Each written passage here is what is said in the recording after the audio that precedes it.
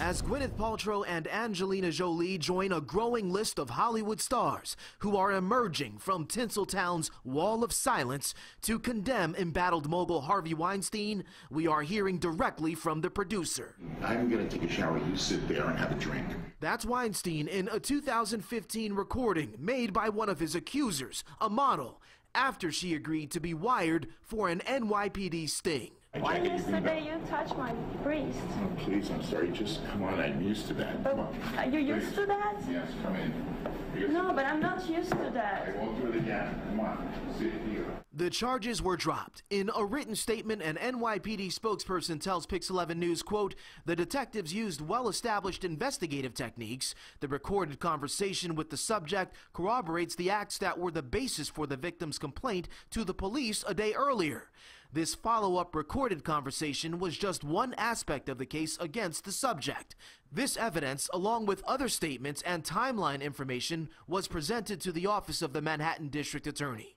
The Manhattan DA's office argues the case against Weinstein fell through after a lack of interagency cooperation. Quote, the seasoned prosecutors in our sex crimes unit were not afforded the opportunity before the meeting to counsel investigators on what was necessary to capture in order to prove a misdemeanor sex crime. While the recording is horrifying to listen to, what emerged from the audio was insufficient to prove a crime under New York law, which requires prosecutors to establish criminal intent. It's about getting people in the door and letting them know that we are here to help. In this back and forth, it is easy to lose sight of the fact that ordinary women across the country, far away from Harvey Weinstein and Hollywood, are often wrongly blamed for being a victim. In cases like this, when when there is somebody who has victimized a number of people, one of the first questions we ask in the community is why didn't she report it? Why didn't she tell someone what was happening and prevent it? And I think the question we really need to be asking is why did he do that? Why did he hurt her?